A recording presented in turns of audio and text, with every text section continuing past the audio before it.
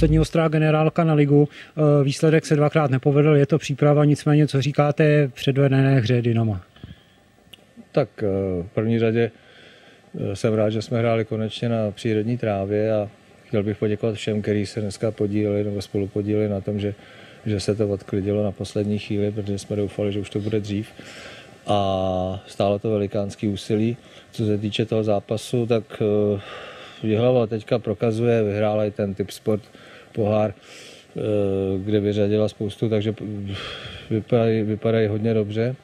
Uh, přeju jim, aby postoupili do ligy, ale to nic nezastírá to, že prostě my jsme měli, měli hrát, i když se říká generálka špatná a tak dále, měli jsme hrát líp, hráli jsme, nehráli jsme dobře, hlavně jsme si nevypracovali moc eh, šancí, pokud jsme nějakou měli, tak jsme neproměnili a soupeř bych řekl, že na můj vkus prostě se nám dostal do, do dvou, do tří velikánských šancí, co by se stávat jako nemělo.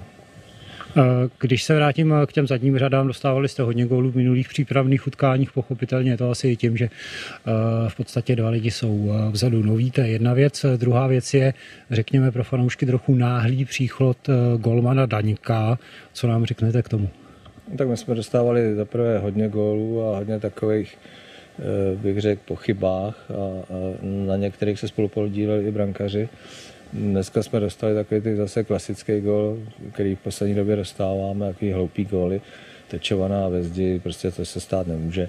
Ale co se týče příchodu Daňka, na co jste se ptal, tak eh, brankáři v poslední době nepůsobili zrovna ani jeden, ani druhý jistým dojmem a, a já nevím, ve většině oddílů mají tři golmany, my jsme měli dva, kdyby se jeden zranil, tak máme teďka tři, abych z toho nedělal nějakou vědu, ale, ale doufám, že Daněk se tady chytí a že bude takovým mrakařem, jako býval dřív. No.